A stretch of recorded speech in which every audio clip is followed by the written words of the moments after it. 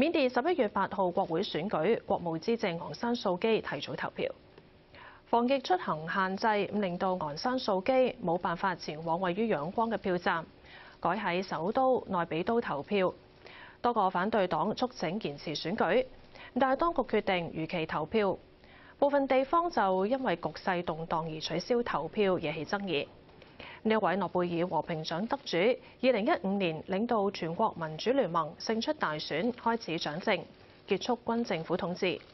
佢冇就羅興亞人危機發聲，國際聲望受損，但預料仍然能夠帶領全國民主聯盟勝出選舉。